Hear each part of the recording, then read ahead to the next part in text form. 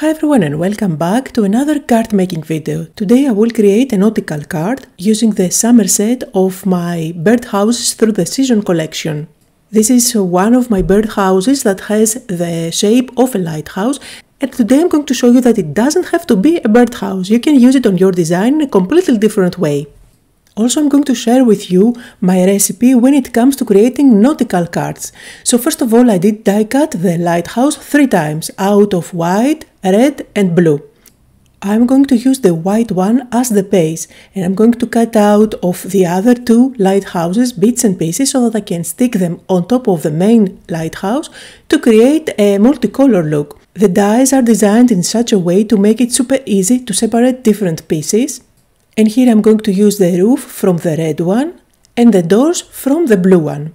One of my go-to recipes when it comes to creating nautical cards is to always use red, blue, white and a touch of gold.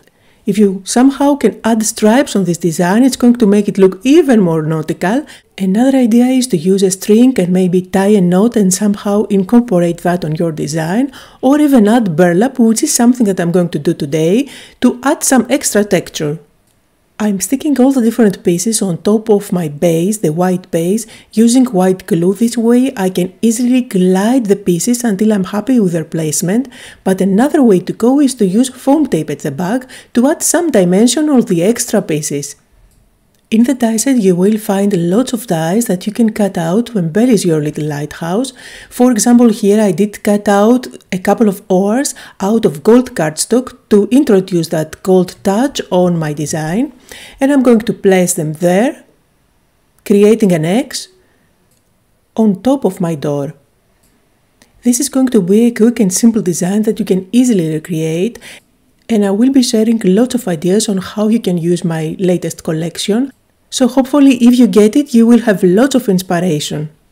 And I'm showing you here some more bits and pieces that you can use to embellish your lighthouse, such as the anchor or even the starfish as well as the shell. However, for this design, I'm only going to use the lifesaver. I did cut it out twice, one from uh, white cardstock and the other one from red I'm going to place it directly on top of my door. The doors in this die are designed in such a way so they are interactive, they do open up. However, in this design, since I am sticking that lifesaver on top of the window, it's not going to open, so I block them completely. But you do have that versatility depending on your design, whether you want to have the doors open or completely closed. You see I'm filling in the little gaps on the lifesaver with the pieces from the red cutout. Now I will do some heat embossing. For my sentiment I went with summer vibe that comes from my sentiment stamp set.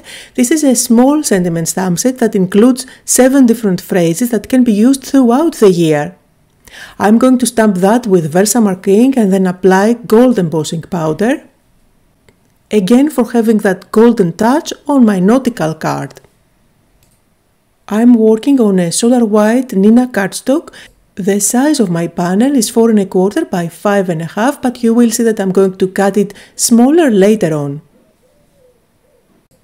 Now, although this is a very simple card, I'm going to add something extra, some texture, which is going to take it to the next level. For that, I have this piece of burlap, which I'm going to stick down. Another way to go would be to use canvas. For some reason, canvas goes great as well as burlap with nautical themed uh, designs.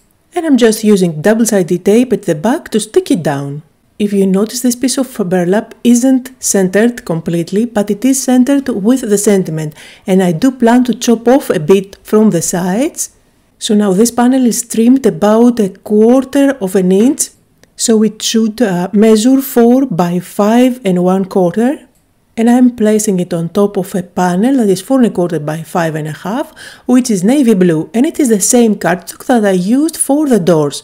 Another way to go is to mat this panel with the red cardstock or even with gold.